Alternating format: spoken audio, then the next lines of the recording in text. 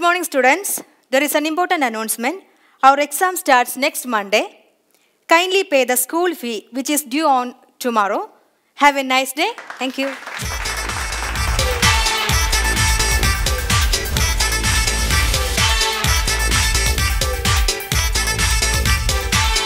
ഓയ്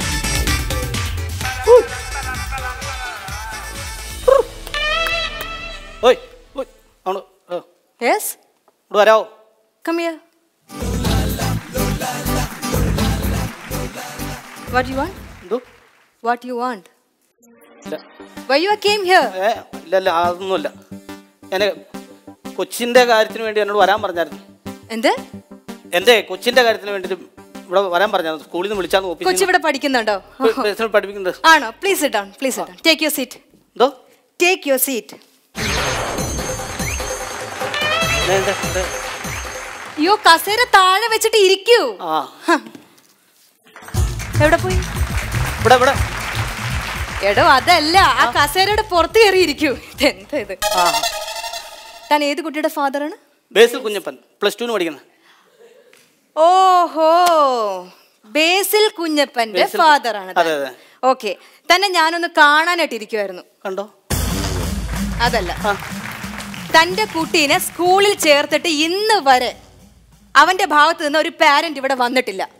ഒരു സ്കൂൾ മീറ്റിങ്ങിന് വിളിച്ചാലോ അല്ലെങ്കിൽ പാരൻസ് മീറ്റിങ്ങോ പി ടി എ മീറ്റിങ്ങോ എന്താണെങ്കിലും ഒരു ഒരു പാരന്റ് ഇവിടെ എത്തിയിട്ടില്ല. അല്ല അത് ഞാൻ ഈ ഭോപ്പാലായതുകൊണ്ട് ഭോപ്പാലിലാവാം. ഭോപ്പാലിലായിക്കോട്ടെ എന്തോ ആയിക്കോട്ടെ പക്ഷെ കൊച്ചിന്റെ കാര്യത്തിൽ ഒരു ഉത്തരവാദിത്തം വേണ്ടേ മിസ്റ്റർ വേണം. വേണം. ആ പിന്നെ തന്റെ കുട്ടി ഞാൻ എന്താ വിളിപ്പിച്ചതെന്ന് വെച്ച് കഴിഞ്ഞാൽ തന്റെ കുട്ടി ഇവിടുത്തെ ഒരൊറ്റ സ്റ്റുഡന്റും തന്റെ കുട്ടിയെ പോലെ ഇല്ല. എടോ തന്റെ കുട്ടിക്ക് ഒരിറ്റ് ഡിസിപ്ലിൻ ഇല്ല. ഡിസിപ്ലിൻ ഡിസിപ്ലിൻ ഒരു ഇറ്റില്ല അവന്റെ അടുത്തുകൂടെ ഡിസിപ്ലിൻ പോയിട്ടില്ല. ആ മാമ അത് പിന്നെ പറഞ്ഞിട്ട് കാര്യമില്ല. എന്നാ വെച്ചാൽ ഞാൻ ഈ ഭോപ്പാലല്ലേ പൈസ അയച്ചു കൊടുക്കും. അവൾ വാങ്ങിച്ചു കൊടുക്കാത്ത എന്റെ കുഴപ്പമില്ല. എത്ര വേണം അത്? എത്ര വേണം അത്? എന്റെ പൈസ അടച്ചാൽ മതിയോ എടോ ഇത് കാശ് കൊടുത്ത് മേടിക്കാൻ പറ്റിയ സാധനമല്ല. ഡിസിപ്ലിൻ എന്ന് പറഞ്ഞാൽ പിന്നെ പറഞ്ഞിട്ട് കാര്യമില്ല. പൈസ കൊടുത്ത് വാങ്ങിക്കാൻ പറ്റുന്നല്ല പിന്നെ എന്തോരം പൈസ ഉണ്ടായിട്ട് തന്നെ ആ സാധനം കിട്ടൂലെങ്കിൽ പിന്നെ ഞാൻ എടോ ഇത് ഡിസിപ്ലിൻ എന്ന് പറഞ്ഞാൽ അച്ചടക്കം. ഇതൊക്കെ വീട്ടിൽ നിന്ന് പഠിച്ചിട്ടാണ് കുട്ടികളെ സ്കൂളിലേക്ക് വിടേണ്ടത്. വീട്ടിൽ അത്യാവശ്യം അവൾ പഠിപ്പിക്കുന്നുണ്ടെന്ന് എന്നോട് പറഞ്ഞത്. ദൈവമേ ഇതിനൊക്കെ. എടോ പിന്നെ എനിക്ക് പറയേണ്ട ഒരു കാര്യം. തന്റെ കുട്ടി. നിസ്സാര ഒരു സംഭവം ഉണ്ടെങ്കിലും എടോ അവന്റെ വായിന്ന് എന്തൊക്കെ അഗ്ലി വർത്തമാനങ്ങളാണോ വരുന്നത്? കിളിന്ന് പറഞ്ഞാൽ അവർ കിക്കിളി കുട്ടിയൊക്കെ വർത്താനം പറയാറുണ്ട് വീട്ടിൽ. അതിപ്പോ പിള്ളേരാകുമ്പോ കൂട്ടുകാരാകുമ്പോ ഇക്കിളി കൂട്ടി വർത്താനം. ഇപ്പൊ അല്ല അല്ല ഇങ്ങനെ ഇപ്പൊ ഇക്കിളി കൂട്ടി വർത്താനം പറയില്ല അത് സ്വാഭാവികമാണല്ലോ. എടോ അതല്ല. പിന്നെ? അഗ്ലി എന്ന് പറഞ്ഞാൽ ചീത്ത വാക്കുകൾ. അയ്യോ. എടോ തന്റെ കുട്ടി വാ തുറന്നാൽ മറ്റുള്ള കുട്ടികളെ പട്ടി പൂച്ച കഴുത എന്നൊക്കെ മാത്രമേ വിളിക്കാറുള്ളൂ. അതൊക്കെ ഞങ്ങളുടെ സ്കൂളിന്റെ സ്റ്റാൻഡേർഡിന് ചേർന്നതല്ല മിസ്റ്റർ കുറച്ചു നാൾ ഞാൻ പോപ്പാലിൽ പോയി കിടന്നാണ് ഈ ഇത് കേസ് മൊത്തം ഉണ്ടായത്. ആ നായിന്റെ മോനോട് ഞാൻ പറഞ്ഞില്ല ഈ ചാച്ച പട്ടി പോക്കുന്നു. അങ്ങനെയുള്ള ഭർത്താനം പറയരുത് അവനോട് പറഞ്ഞു അവന്റെ കാര്യമായി ഞാൻ നിലത്തൊഴിക്കാം അവനെ കിട്ടിയ അറിയോ അത്രയ്ക്ക് വിഷമമുണ്ട് എനിക്ക്? ഓക്കെ ഇപ്പൊ ഞങ്ങൾക്ക് മനസ്സിലായി ഇതൊക്കെ എവിടുന്നാണ്? വരുന്നതെന്ന്. വിത്ത് ഗുണം പത്ത് ഗുണം. അയ്യോ ഞാനത് പെട്ടെന്ന് ഇത് വന്നപ്പോഴേ. എടോ എന്തും ക്ഷമിക്കാം. ഞങ്ങളുടെ സ്കൂളിന് അതിന്റെതായിട്ടുള്ള സ്റ്റാൻഡേർഡ് ഉണ്ട്. ഇന്നേ വരെ ഈ സ്കൂളിന്റെ ചരിത്രത്തിൽ ഒരു കുട്ടി സ്കൂൾ യൂണിഫോം ഇല്ലാതെ ഞങ്ങളുടെ സ്കൂളിൽ വന്നിട്ടില്ല. വരാൻ പാടില്ലല്ലോ. വരാൻ പാടില്ല. പക്ഷെ ഇന്ന് വന്നു. അതും നിങ്ങളുടെ കുട്ടി. നിങ്ങളുടെ കുട്ടി ഇന്ന് വന്നിരിക്കുന്നത് സ്കൂൾ യൂണിഫോം ഇല്ലാതെയാണ്. താനെന്ന് ചെന്ന് നോക്കൂ ആ കുട്ടി പുറത്ത് നിൽപ്പുണ്ട്. അല്ല ഞാൻ പറയട്ടെ മാഡം. അല്ല അത് പറഞ്ഞ കാര്യമില്ല. കാരണം വെച്ചാൽ ഭോപ്പാലിൽ കിടന്ന് ഉണ്ടാക്കുന്ന പൈസ വീട്ടിലേക്ക് അയച്ചു കൊടുക്കും. കൊച്ചിന് യൂണിഫോം ഇട്ട് കൊടുക്കണ്ടേ? അത് വാങ്ങിച്ചു കൊടുത്ത കൊടുത്തിട്ടുണ്ട്. അത് കൃത്യമായിട്ട് എടുത്തു കൊടുക്കേണ്ട? ആരാ? അമ്മയാ. അമ്മ അത് എടുത്ത് കൊടുത്തില്ലേ? പിന്നെ അത് പറഞ്ഞിട്ട്. എടി പൈസ ഞാൻ അയച്ചു തരുന്നുണ്ട്. കൊച്ചിന് യൂണിഫോം വാങ്ങിച്ചു കൊടുത്തിട്ടുണ്ടെങ്കിൽ അതിനെ കൃത്യമായിട്ട് രാവിലെ ആ യൂണിഫോം ഇട്ട് വരുന്നത് എന്റെ കടമയല്ലേ? നിന്ന് ഉരുക ഞാൻ. നിന്ന് ഉരുക. അറിയാവോ? കൊച്ചിന്റെ പ്രിൻസിപ്പളിന്റെ മുമ്പിൽ നിന്ന് ഉരുക. മെഴുകുതിരി പോലെ കത്തി കത്തിത്തീരാൻ സങ്കടമുണ്ട് മാം ക്ഷമിക്ക് കാൽ പിടിക്കാൻ ഞാൻ. ഡോണ്ട് തള്ളക്ക് ഉത്തരവാദിത്തമല്ല. പിന്നെ എന്നെ ഈ മാം പൈസ ഉണ്ടാക്കാന്ന് മാത്രമല്ലേ നമുക്കുള്ളൂ. വെച്ചോ ഞാൻ അങ്ങോട്ട് വരുമ്പോൾ ഞാൻ പറയാം ഞാൻ. കേട്ടോ മാഡം ഇനി അത് സംഭവിക്കില്ല. ഞാൻ എങ്ങനെയാലും അടുത്ത യൂണിഫോം ആണെങ്കിലും എടുത്തു കൊടുത്തോളാം. Okay okay don't repeat this okay ഒരു കൊച്ചു വന്ന് മാഡം ഒരു കൊച്ചു വന്ന് Nithin please come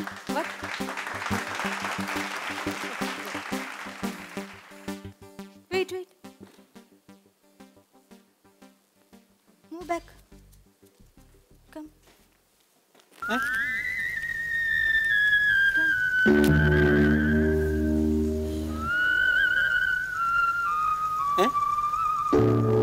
എടോ താൻ എന്തൊരു അച്ഛനാടോ അല്ല. എടോ ഇത് എന്താ ഇട്ടേക്കുന്നത്? അവൾക്ക് പിറന്നാളും അഞ്ചാം ഷർട്ടല്ലേ? എടോ കൊച്ചിന്റെ സ്കൂൾ യൂണിഫോം താൻ ഇട്ടേക്കുന്നത്. ശരിയാണല്ലോ ഇത് ഒരുപോലെ എടുക്കണല്ലോ ഇത്. നമ്മുടെ ഒരുപോലെ എടുക്കണല്ലേ അയ്യോ പറ്റിയത്? ശ്ശെ. എടോ സ്കൂളിൽ പഠിക്കുന്ന കൊച്ചിന്റെ യൂണിഫോം താൻ ഇട്ടേക്കുന്നത്. പിന്നെ വീട്ടിലിരിക്കുന്നവരെ കുറ്റം പറഞ്ഞിട്ട് വല്ല കാര്യമുണ്ടോ? അല്ല ഞാൻ രാവിലെ എഴുന്നിട്ട് വന്നപ്പോൾ അത് ഞാൻ ബർത്ത്ഡേക്ക് ഞാനത് നിതിൻ അല്ല എന്നാ ചെയ്യാൻ പറ്റുമോ ബേസിൽ കം. ഏ അവൻ നീ അങ്ങോട്ട് നീ പോയേ നാണം കെടുത്താൻ വേണ്ടി. എന്താടോ ഇത്? എടോ ഈ സ്കൂളിന് അതിന്റെതായിട്ടുള്ള ഡിസിപ്ലിൻ ഉണ്ട്. എന്താ ഈ കാണിച്ചു വെക്കുന്നത്? സുലഭി ഇപ്പം ശരിയാക്കി തരാം. അതും ഊരിക്കടാ. അതും ഊരിക്കണം ഇപ്പം ശരിയാക്കി തരാം. ഊരത് ഒരു തെറ്റ് പറ്റിയാതെ മൊത്തം ക്ഷമിക്കണ്ടേ? മിസ്സും അത് ക്ഷമിക്കണത്. ഒരു ഇടയ്ക്ക് വള്ളി കെട്ടി തൂക്കിയിട്ടേക്കണം ഏറ്റവും വലിയ പാട്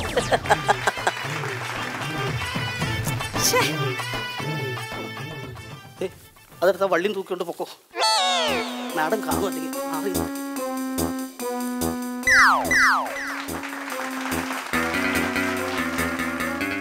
മാറിപ്പോതാ ഷർട്ട് മാറിപ്പോതാ മാഡം. എടോ. ഇത്രയൊക്കെ കാര്യങ്ങൾ പറയാൻ വേണ്ടിയിട്ടാണ് തന്നെ വിളിപ്പിച്ചത്. തനിക്ക് പോകാം. അല്ല ഇനിയിപ്പം അങ്ങനെ പറഞ്ഞു വിടല്ലേ? എന്താ? രണ്ടാമത്തെ കൊച്ചും കൂടെ ഒരു ഇവിടെ ചേർക്കാൻ വേണ്ടിട്ടാണ് വന്നത് എന്റെ ദൈവമേ എടോ ഒന്നാമത്തെ കൊച്ചിനെ കൊണ്ട് തന്നെ ഞങ്ങൾ പുറത്തുമുട്ടി നിൽക്കുക ഇനി രണ്ടാമത്തെ കുട്ടിയോ? അല്ല രണ്ടാമത്തെ കൊച്ചു അങ്ങനെ പ്രശ്നം വരില്ല മാഡം. അങ്ങനെ വരത്തില്ല അവൻ വരത്തില്ല. ഇല്ല ഉറപ്പാണല്ലോ? ഉറപ്പാണ്. ഒന്നേ ഇരിക്കൂ അവിടെ. ഇരിക്കൂ പ്ലീസ് ഓക്കെ നോക്കൂ മിസ്റ്റർ എന്താ? കുഴപ്പമൊന്നുമില്ല നോട്ടത്തിൽ കുഴപ്പമൊന്നുമില്ല. അതല്ല ഞാൻ പറയുന്നത് കേൾക്കാൻ. എന്നാ കേൾക്കാൻ പറയണ്ട നോക്കാൻ പറഞ്ഞിട്ട് കേൾക്കാൻ പറയണല്ലോ എന്നെ അർത്ഥമുള്ളത് സ്റ്റാൻഡേർഡ് പറയൂ. വലിയ കുഴപ്പമില്ലാത്ത രീതിയിലാണ് സ്റ്റാൻഡേർഡ് പോകുന്നത്. അയലക്കംകാരൊക്കെ അങ്ങനെ പറഞ്ഞത് ആരുടെ? ഞങ്ങളുടെ വീട്ടിലെ. അതല്ല ഇവിടെ പഠിക്കേണ്ട കുട്ടിയുടെ സ്റ്റാൻഡേർഡ് പറയൂ. കുട്ടിക്ക് നല്ല സ്റ്റാൻഡേർഡ് ആണ് നല്ല ഉദ്ദേശിക്കുന്നത്. അതല്ല എൽ കെ ജിയിലാണോ യു കെ ജിയിലേക്കാണോ ചേർക്കേണ്ടത്? അതിലേതാണെന്ന് വെച്ചാൽ മാഡത്തിന് ഇഷ്ടമുള്ള ചേർത്തോ നല്ലതായിരിക്കണം മാത്രം. ഓ അതല്ല മിസ്റ്റർ. പിന്നെ? നമ്മൾ ഈ കുട്ടീനെ ആദ്യമായിട്ടല്ലേ സ്കൂളിലേക്ക് ചേർക്കുന്നത്? അതെ. അപ്പൊ എൽ കെ ജി മതി. നിങ്ങൾ തന്നെ തീരുമാനിക്കുക. ജനിപ്പിച്ചാൽ അന്തൊക്കെ ഒരു അവകാശമല്ല. നിങ്ങൾ തന്നെ തീരുമാനിക്കുക ചേർത്താൽ മതി പിന്നെ ഞാൻ എന്നാ പറയണത് എടോ ആദ്യമായിട്ട് ചേർക്കുമ്പോ എൽ കെ ജിയിലാണ് ചേർക്കേണ്ടത്. അതാണ് അതിന്റെ രീതി. അതൊക്കെ നിങ്ങൾ ഓരോ രീതി ഉണ്ടാക്കും നമ്മളത് അനുസരിക്കണം. പൈസ തന്നെ അത്രേ ഉള്ളൂ. നോക്കൂ മിസ്റ്റർ ഇതൊരു ഇന്റർനാഷണൽ സ്കൂളാണ്. അപ്പം ഇവിടെ ഉച്ചക്കഞ്ഞി ഉണ്ടാവുമല്ലോ പയറും? ഉച്ചക്കഞ്ഞിയും പയറൊന്നും ഇവിടെ ഇല്ല. പിന്നെ? നമ്മളുടെ സ്കൂളിൽ ആദ്യമായിട്ട് ഒരു കുട്ടീനെ സെലക്ട് ചെയ്യുമ്പോൾ ആദ്യം നമ്മൾ പാരന്റ്സിന് ഒരു ഇന്റർവ്യൂ കൊടുക്കും. അത് എന്റെ ഇല്ല. അവസാനം ഇല്ല. അപ്പൊ ഈ കുട്ടിക്ക് അച്ഛനും അമ്മ ഇല്ല. അല്ല അച്ഛനാണല്ലോ ഞാൻ. അമ്മ വീട്ടിലുണ്ടല്ലോ. അതാണ് പറഞ്ഞത്. നിങ്ങളെ ഇന്റർവ്യൂ ചെയ്യും. അതായത് താങ്കളെ ആദ്യം ഇന്റർവ്യൂ ചെയ്യും. അത് കഴിഞ്ഞാൽ എനിക്ക് ഇവിടെ പണിയായി. അല്ലേ? എടോ അതല്ല. നിങ്ങളുടെ വിവരം നിങ്ങളുടെ നിങ്ങളുടെ കൾച്ചർ അറിയാൻ വേണ്ടിയിട്ടാണ് ഞങ്ങൾ നിങ്ങളെ ഇന്റർവ്യൂ ചെയ്യുന്നത്. അത് ചെയ്തു. മൂന്ന് പ്രാവശ്യം ചെയ്തോ. കുഴപ്പമില്ല. കുട്ടിക്ക് ഐക്യം ഉണ്ടല്ലോ. കുട്ടിക്ക് മാത്രമല്ല ഞങ്ങളെ വീട്ടിലെല്ലാവരും നല്ല ഐക്യത്തിലാണ് പോണത്. പിന്നെ അമ്മായപ്പൻ പെണ്ണുമ്പിള്ള വീട്ടുകാർ മാത്രം ഇച്ചിരി ഉടക്കിലാണ് പോണത്. കാരണം പുള്ളിയുടെ കയ്യിലിരിപ്പോൾ അതാ അതുകൊണ്ടാണ്. എടോ അതല്ല. പിന്നെ? കുട്ടിയുടെ ബുദ്ധി ബുദ്ധി? കഴിവ് ഇതൊക്കെ അറിയാൻ വേണ്ടിട്ട് ഒരു ടെസ്റ്റ് ഉണ്ട്. അതാണ് ഐ ക്യു ടെസ്റ്റ് ആ അതൊന്നും അത് കുഴപ്പമില്ല. മനസ്സിലായില്ലായിരുന്നു കേട്ടോ അത് കുഴപ്പമില്ല മനസ്സിലായില്ല. പിന്നെ തനിക്കൊരു കാര്യം അറിയാലോ? ആ. മൂത്ത ആൾ ഇവിടെ പഠിക്കുന്നുണ്ടല്ലോ ആ. നമ്മൾ മറ്റുള്ള സ്കൂളുകളെ പോലെയല്ല. വളരെ കുറച്ച് ഡൊണേഷൻ ആണ് നമ്മുടെ സ്കൂൾ മേടിക്കുന്നത്. പക്ഷെ ആ ഡൊണേഷനിൽ തന്നെ നമ്മൾ കുട്ടികൾക്ക് യൂണിഫോം ബാഗ് സ്കൂൾ ബസ് ഇതെല്ലാം നമ്മൾ എവറിത്തിങ് നമ്മൾ പ്രൊവൈഡ് ചെയ്യുന്നുണ്ട്. നമ്മൾ ഈ കുട്ടികളുടെ അടുത്ത് നിന്ന് ഫസ്റ്റ് നമ്മൾ ഒരു വൺ ലാക്ക് അതായത് ഒരു ലക്ഷം രൂപ മാത്രമേ നമ്മൾ ഡൊണേഷൻ ആയിട്ട് മേടിക്കുന്നു വൺ ലാക്ക് ലക്ഷം രൂപ? യെസ് ഇത്രയും കുറഞ്ഞ പൈസ വാങ്ങിച്ച് നിങ്ങൾ എങ്ങനെ ജീവിച്ചു പോകുന്നു ഭയങ്കര കഷ്ടപ്പാടായിരിക്കും. ഒരു പാരന്റെങ്കിലും അത് മനസ്സിലാക്കിയല്ലോ. വളരെ വളരെ ബുദ്ധിമുട്ടാണ്. മൂവായിരത്തി അഞ്ഞൂറ് പിള്ളേരും ഉണ്ട് ഒരു ഒരു കുട്ടിയുടെ അടുത്ത് നിന്ന് ഒരു ലക്ഷം രൂപ വെച്ച് വാങ്ങിക്കുകയും ചെയ്യും അല്ലേ? പിന്നെ നമുക്ക് സ്കൂൾ വളരണ്ടേ മിസ്റ്റർ പിന്നെ വളരെ ഞാൻ കണ്ടായിരുന്നു. ആദ്യം വന്നപ്പോൾ മൂന്ന് സെന്റ് പട്ടയമില്ലാത്ത സ്ഥലത്തിനകത്ത് ഒരു ഒരു നില കെട്ടിടത്തിനകത്ത് അല്ലെ? ഒരു മൂന്ന് മുറിയും പണിത് വെച്ചാൽ മേളിലേക്ക് മൂന്നാൽ വാർക്ക കമ്പിയും പൊക്കി വെച്ചിട്ടുണ്ടായിരുന്നു. ഇപ്പൊ വരുമ്പോ അതിന് അഞ്ച് നില കെട്ടറായി അല്ലേ?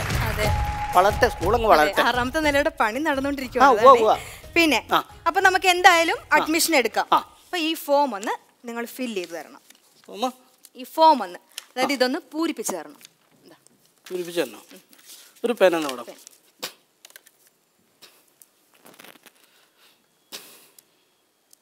Yes. വേറൊരു പേനരോ വേറൊരു പേന എന്തോ കൈക്കങ്ങാണ് വേറെ പേന പേന പിടിക്കുമ്പോഴേ ഈ കൈയുടെ ഈ ഇതുണ്ട് ഇവിടെ. എഴുതാൻ അറിയാൻ പാടില്ല അപ്പം എന്നെ ഉണ്ട്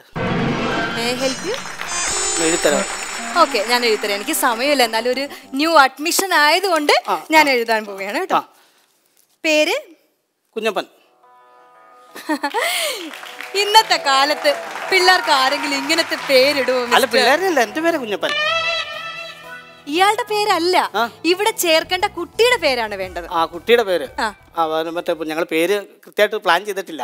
കൺഫ്യൂഷൻ ഇപ്പൊ എല്ലാവർക്കും ഉള്ളൊരു പ്രശ്നമാണ്. അച്ഛൻ ഒരു പേരിടും അമ്മ ഒരു പേരിടും അല്ലെ? അതൊരു പ്രശ്നമാണ്. കുഴപ്പമില്ല. നിങ്ങൾ കുട്ടീനെ ചേർക്കാൻ വരുമ്പോഴത്തേക്ക് ഡിസിഷൻ പറഞ്ഞാൽ മതി കേട്ടോ. ചെ- അപ്പൊ എഴുതിയാൽ മതി.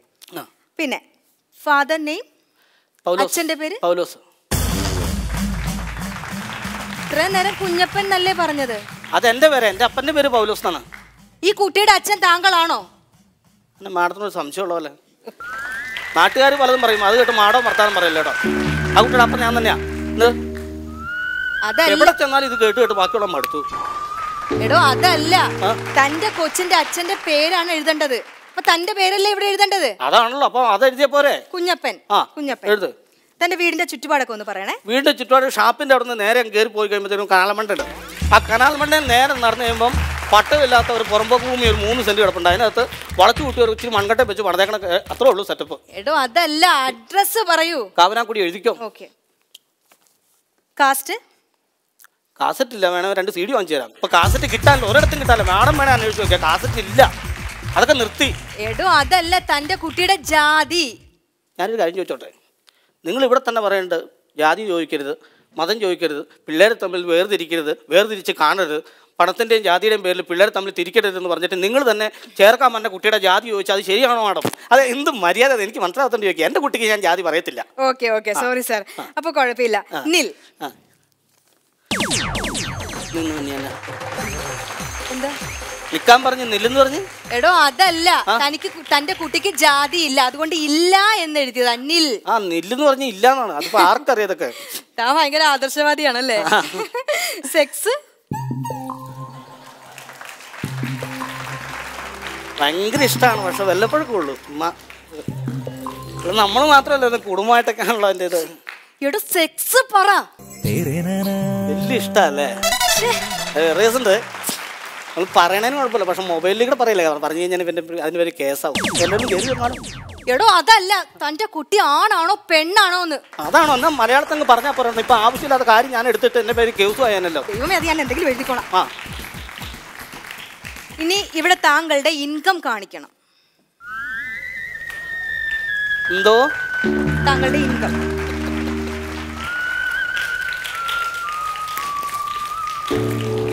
മിസ്റ്റർ. അല്ലല്ല അല്ല അല്ല അല്ല. വന്നപ്പോൾ ഉള്ള ഇംഗ്ലീഷും സ്റ്റാൻഡേർഡൊക്കെ കണ്ടപ്പോൾ നമ്മൾ ഓർത്തില്ല ഒരു കൊച്ചിരി ചേർക്കണമെങ്കിൽ അപ്പന്റെ ഇംഗം കാണിക്കും എന്നുള്ളത് കേട്ടോ അല്ലല്ല അത് വേണ്ട. എടോ അല്ലല്ല അല്ല വരുന്ന പെണ്ണുങ്ങൾ പറയുന്ന ഒരു വാക്കല്ല അത് അത് ശരിയല്ല. എന്റെ മാത്രം മതിയല്ലോ കൊച്ചിന്റെ കാണിക്കണോ. നീ അനൗൺസ്മെന്റ് ചെയ്യാൻ പോവാണ്. എന്നോട് ചോദിച്ചാൽ പറയാതെ പത്ത് പേരെ അറിയിക്കണം എന്റെ ഇൻകത്തിന്റെ കാര്യം. അവിടെ നിന്ന്. എടോ ഞാനൊരു അനൗൺസ് ഒരു അനൗൺസ്മെന്റ് ചെയ്യണ്ട. എടോ എന്റെ ഇൻകം മാത്രമാണല്ലോ കൊച്ചിന്റെ ഇൻകം ഉണ്ടോ തന്റെ ഇൻകം കാണിച്ചാ മതി. ഇൻകം എന്ന് പറഞ്ഞാൽ വാർഷിക വരുമാനം. അതാണ് ഇവിടെ കാണിക്കേണ്ടത്. വാർഷിക? വാർഷിക വരുമാനം. ഇപ്പൊ തെറ്റിദ്ധരിച്ചിപ്പോ ഇൻകം ഇങ്കം കാണിച്ചായിരുന്നു ഇവിടെ എന്നെ നടന്ന നടന്നേ? ഇവിടെ അംഗം നടന്നേനെ ഇപ്പൊ ഇവിടെ. എന്റെ പൊന്നു? ഏ അത് പറയാൻ കേട്ടാ. ഞാനൊരു ഇൻഫോർമേഷൻ കൊടുക്കട്ടെ കുട്ടികൾക്ക്. Good morning students there is an important announcement. This Saturday will be a working day. All students should come to school in uniform. Thank you. Announcement ഇവിടെ തന്നെ പോവല്ലേ അതെ അതെ. അതെ. ഇപ്പൊ മൈക്ക് സാങ്ഷൻ ഉണ്ടോ? അല്ല അത് സ്കൂളിന് അതിന്റെ ആവശ്യമില്ല. അല്ല ഞങ്ങളുടെ ഇവിടെ അനൗൺസ്മെന്റ് ചെയ്ത്. മൈക്ക് സാങ്ഷൻ പോലീസ് വണ്ടി പിടിച്ചാൽ അത്രയും അല്ല അതെന്താന്ന് വെച്ച് കഴിഞ്ഞാൽ നമ്മൾ എന്തെങ്കിലുമൊക്കെ പറയാനുണ്ടെങ്കിൽ അല്ലെങ്കിൽ പിന്നെ ഓരോ ക്ലാസ് തുറന്ന് നടന്ന് പറയണ്ടേ. ഇത് അതിന്റെ ആവശ്യമില്ല. ഇവിടെ നിന്ന് പറഞ്ഞാൽ ഈ സ്കൂളിന്റെ കോമ്പൗണ്ട് മൊത്തം കേൾക്കും. അത്. നല്ല കാര്യം അപ്പൊ ഞാനിത് ഒരുവിധം ഫില്ല് ചെയ്തിട്ടുണ്ട്. അപ്പൊ താനൊന്ന് ഇതൊന്ന് ഒപ്പിട്ട് വെക്കും. ഞാൻ ഈ ഇൻഡു ഇട്ട സ്ഥലത്തേക്ക് ഒന്ന് ഒപ്പിട്ട് വെക്കും കേട്ടോ. ഞാനിപ്പോ വരാം. ഉപ്പ് നല്ല. ഒപ്പിടണേ ഒപ്പിട്ട് വെക്കും. ഞാനിപ്പോ വരാം. മൂത്തവനെ ചേർക്കാൻ വന്നപ്പോൾ കുരിശ് വരച്ചു എന്നും പറഞ്ഞ അവൻ ചീത്ത പറഞ്ഞ. ഇനി അങ്ങനെ ഒപ്പിടും.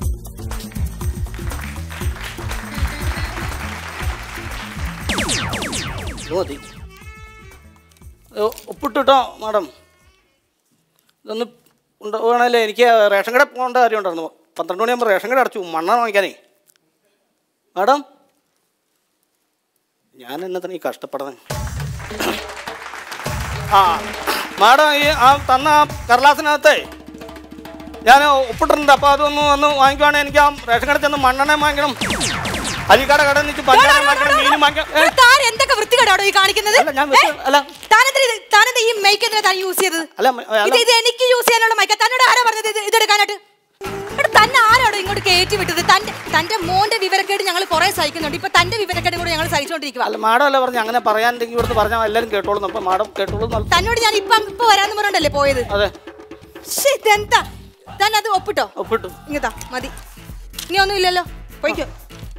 ഇനി അടുത്ത മാസം ഒന്നാം തീയതി ഈ ചേർക്കേണ്ട കുട്ടിയുമായിട്ട് താൻ വരണം. ഓക്കെ? അടുത്ത മാസം? ആ. അടുത്ത മാസം നടക്കും നടക്കൂല. അതെന്താ? നാലര വർഷം കഴിഞ്ഞിട്ട് നടക്കുള്ളൂ. എടോ ഈ വർഷം ചേർക്കേണ്ട കുട്ടീനെ നാലര വർഷം കഴിഞ്ഞിട്ടാണോ കൊണ്ടുവരേണ്ടത്? ഇന്നലെ അന്നേ ഭാര്യ ഒമിറ്റ് ചെയ്തിട്ട് ആശുപത്രി കൊണ്ടുപോയപ്പോൾ ഡോക്ടർ വിശേഷം ഉണ്ടെന്ന് പറഞ്ഞത്. അപ്പൊ അത് വന്ന് അഡ്മിഷൻ എടുത്തിട്ട് പോകാനും അതിന്റെ പൂരിപ്പിച്ച് കൊടുക്കാൻ ഓർത്ത് വന്നാ. എടോ ഇന്നലെ താൻ വിശേഷം അറിഞ്ഞോളെങ്കിൽ പിന്നെ ഇപ്പോഴെന്തിനാ ഇങ്ങോട്ട് കെട്ടിയെടുത്ത് വന്നത്? ഇതുപോലുള്ള ഇംഗ്ലീഷ് മീഡിയം സ്കൂളിലെ ഇപ്പൊ ഞാൻ ബുക്ക് ചെയ്താലേ ഒരു ലക്ഷം രൂപ മതി. നാല് വർഷം കഴിഞ്ഞ് ഞാൻ ബുക്ക് ചെയ്ത് കഴിഞ്ഞാൽ നാല് ലക്ഷം രൂപ വേണ്ടേ. അപ്പൊ ഇപ്പൊ ഞാൻ ബുക്ക് ചെയ്യുവാണെങ്കിൽ മൂന്ന് ലക്ഷം രൂപ ഞാൻ ലാഭിച്ചില്ലേ? പഠിപ്പില്ലേലും ഉണ്ടല്ലോ എനിക്ക് അപാര ബുദ്ധിയാ. മനസ്സിലായോ? മാഡം കേട്ടിട്ടില്ലേ? അഡ്വാൻസ് ബുക്കിങ്ങിന്. അതാണ് ഇപ്പൊ ഇവിടെ നടന്നത്.